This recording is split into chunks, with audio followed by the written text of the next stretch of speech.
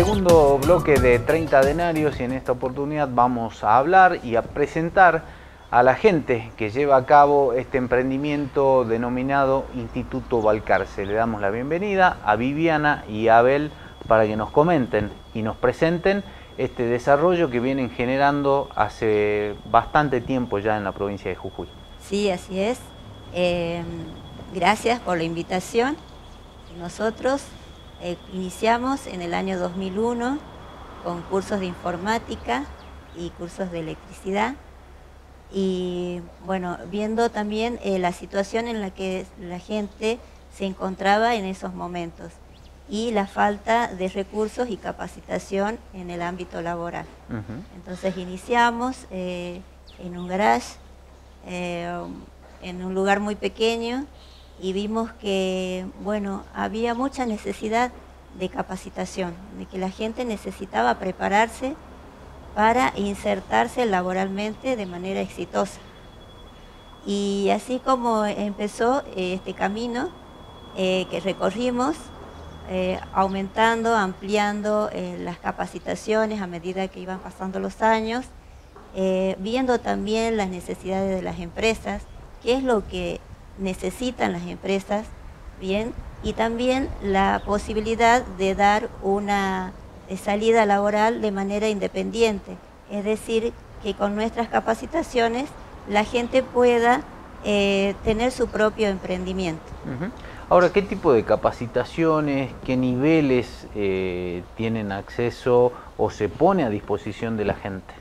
Sí, bueno, el, negocio mm, básicamente comenzó este, eh, atendiendo una, una demanda en el mercado que este, estaba relacionado con buscar personas con mano de obra calificada en diferentes tipos de especialidades y oficios y es por eso que hemos creado este, los cursos de capacitación laboral y formación profesional, que es una enseñanza no, no oficial, es una enseñanza no formal, donde cual, cualquier persona puede obtener, eh, hacer un curso y obtener este, una salida laboral inmediata, ya sea a cuenta propia o este, mejorando su, su currículo.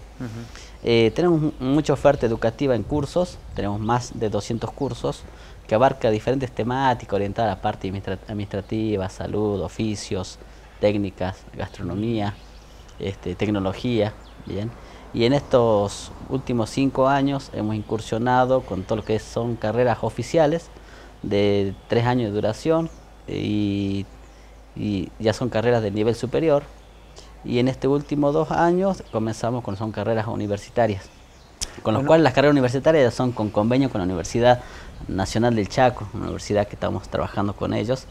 Trajimos la posibilidad acá a Jujuy de traer carreras a, totalmente a distancia. Bueno, qué importante es darle, brindarle herramientas a la gente para que pueda insertarse en el mercado laboral que cada vez se hace más competitivo, más si se tiene en cuenta estos momentos eh, de pandemia que, ha atravesado el mundo entero, lógicamente también la provincia de Jujuy. Bueno, ¿cómo hacen ustedes para, o cómo han hecho ustedes para poder reinventarse a través de aulas virtuales, de plataformas digitales?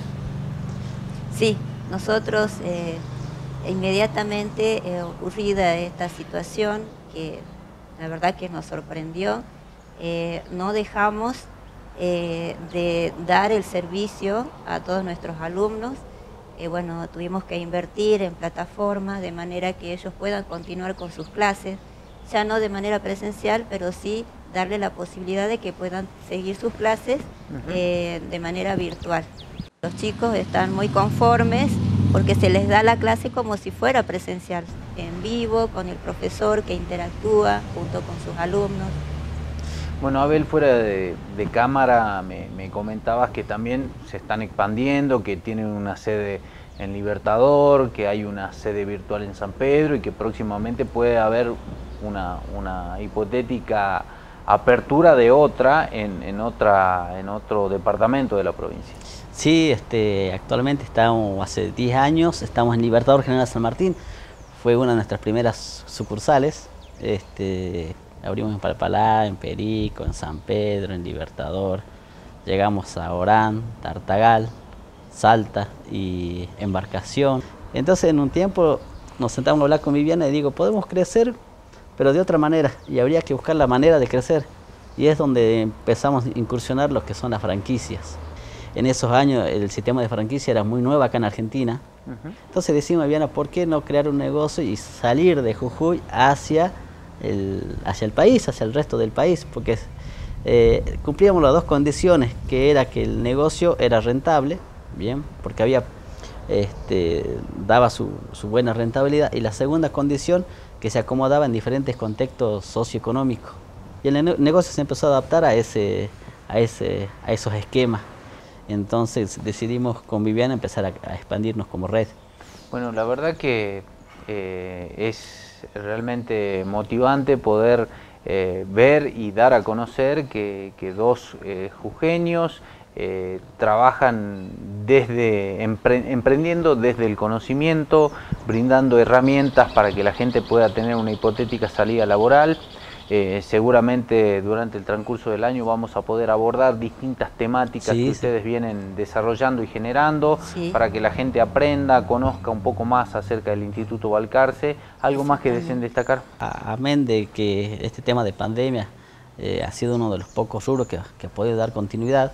Este, invitarlos a que desde ahora ya se empiezan a, buscar, buscar la oferta educativa para, para el año que viene, con respecto a las carreras terciarias, con respecto a las carreras universitarias, con los cursos, este, que vamos a continuar, no, no vamos a dar un parate eh, por el tema vacacional, pero vamos a continuar. Hay asesoramientos personalizados para que la gente eh, pueda comunicarse, consultas telefónicas a través de redes sociales.